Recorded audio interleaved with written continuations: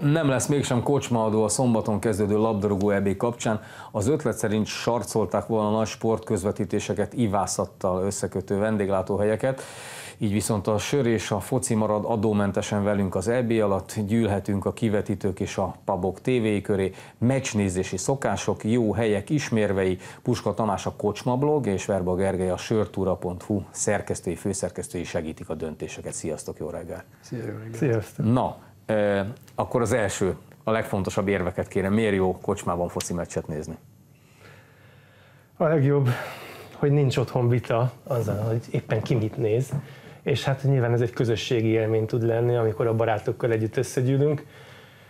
Akkor ugye egész más drukkolni, ha már nem lehetünk kint a stadionban, akkor meg hát jönnek a sörök, tehát ö, csak rendelünk, és már ott van, és nekünk az se kell törődni, hogy kimenjünk a konyhában.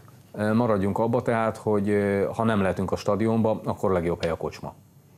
Mm, Szerintem mondhatjuk így. Főleg azért, mert vannak mostában már elég igényes helyek, ahol adnak arra, hogy ténylegesen ilyen stadion hangulatot kreáljanak, és kivetítővel, meg egyéb nyalánkságokkal megpróbálják megspékelni a meccset, ami egyébként is izgalmas. Na mindjárt majd megnézzük, hogy mitől jó egy jó hely, azonban, amit az előbb már itt említettem, ti mit szóltatok ehhez a fura ötlethez, tehát, hogy jön az Európa bajnokság, jön az olimpia, és akkor fizessenek ezek a jó kis helyek azért, hogy, hogy meccset közvetítenek. Ha jól emlékszem, akkor ez az ötlet kb. egy napig élt, tehát azt hiszem, hogy nagyon hamar van belső zúgol- zúgolódás is elindulhatott.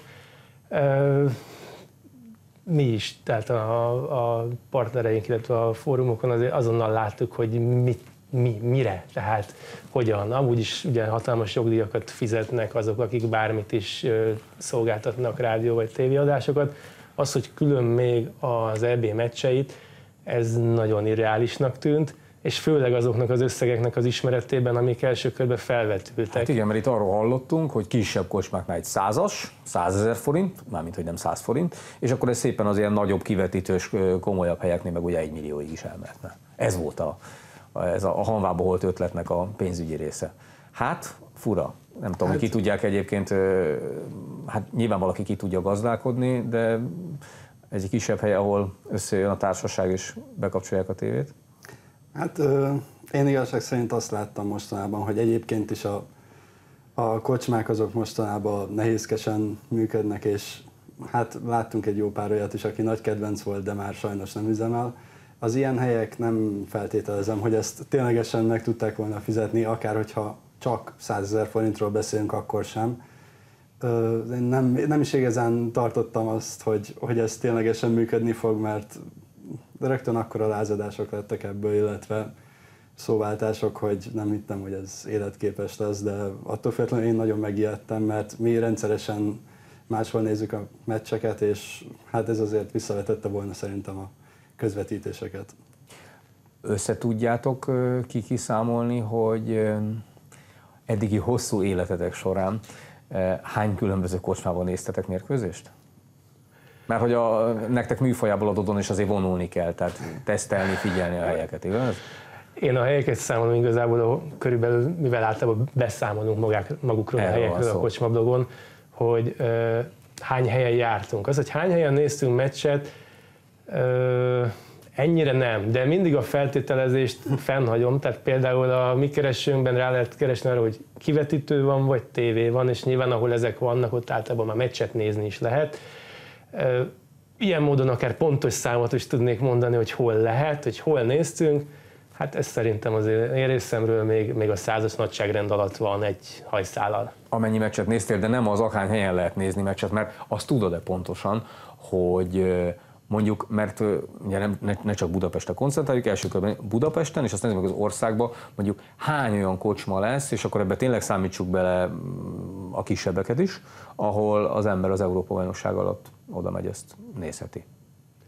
Én egy tízezes nagyságrendre Tízezes. tippelek. Aha. Te is így látod? Hát, ö, én is a környékén, de én azért egy kicsit kevesebb, tehát olyan 8000, sőt, még annál is kevesebb igazság szerint. Tapasztalatotok szerint ilyen ö, kocsma-foci barát városok, van-e olyan, ami ki lehet emelni, ahol, ahol, nagyon, ahol nagyon komoly a sűrűség? És most számítsuk le Budapestet. Hát nyilván, ahol, ahol komoly NB1-es csapatok vannak, és annak is van közönsége. Ott ezek az emberek biztos, hogy betudulnak egy kocsmába, és, és ezek ugyanúgy a foci szeretete miatt ezt kísérni fogják.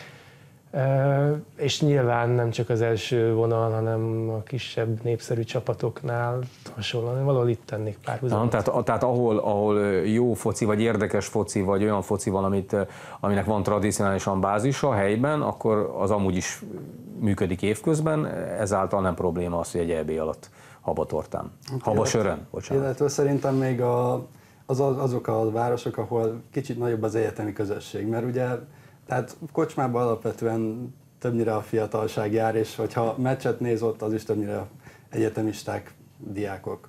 És szerintem az ilyen nagyobb kampuszokkal, vagy nagyobb létesítményekkel rendelkező egyetemi városok is ugyanúgy célpontjai ennek, sőt ott szerintem még nagyobb is a hangulat, még nagyobb is a érdeklődés ez iránt, hogy legyenek közvetítések.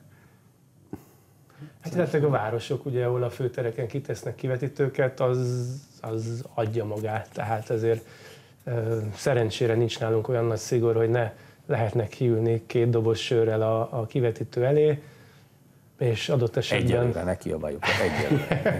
adott esetben azért ez, ez tud hasonló hangulatot teremteni, vagy akár még nagyobbat, mint egy szűk helyre betódulva.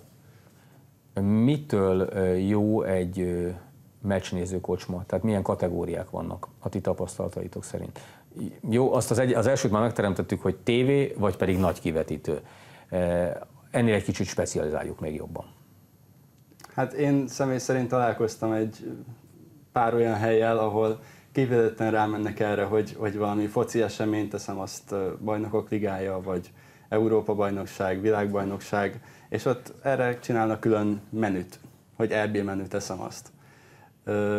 Ott ugye kivetítővel is készülnek rögtön, megpróbálják úgy berendezni magát az egységet, ami megfelel annak, hogy ne egymás hegyén hátán üljenek az emberek, illetve hát ami nekem nagyon nagy szívügyem az, hogy extra főt vesznek fel arra az időszakra, amikor az EB vagy az esemény van éppen, mert hát annál szerintem nincs rosszabb, amikor egy meleg sör érkezik ki, ahelyett, hogy várná az ember a jó hideg sört a meleg napokon, szerintem ez abszolút pozitívum. Meg illetve ergonómiailag, illetve technikailag azért vannak különbségek. Tehát ha úgy kell nézni a meccset, hogy kitörik a nyakam, akkor az másfél órára nem egy kellemes élmény.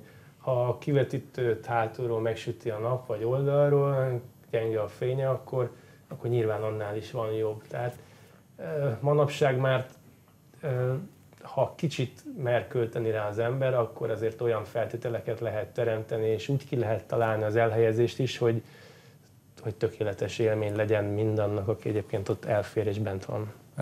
A ti eddigi tapasztalataitok szerint, mert ugye volt már VB, volt már EB, nem, nem, nem most kezdjük ezt a szakmát, hogy így mondjam, Szóval, hogy aki igazán gondolkodik ezen, és elhelyezésen, ergonómián, de ugyanakkor az ilyen apróságokon is mondjuk, hogy legyen legyen spagetti hollandi mártással egy, egy, egy, egy, egy olasz holland mérkőzés előtt, szóval, hogy mindenféle ilyen Csak dolgokat kitalál. Igen. Igen. Szóval mennyi, me, me, mekkora ezeknek az aránya, ezeknek a kocsmáknak, ahol, ahol ezen tényleg jó értelemben lelkesen és intenzíven gondolkodnak?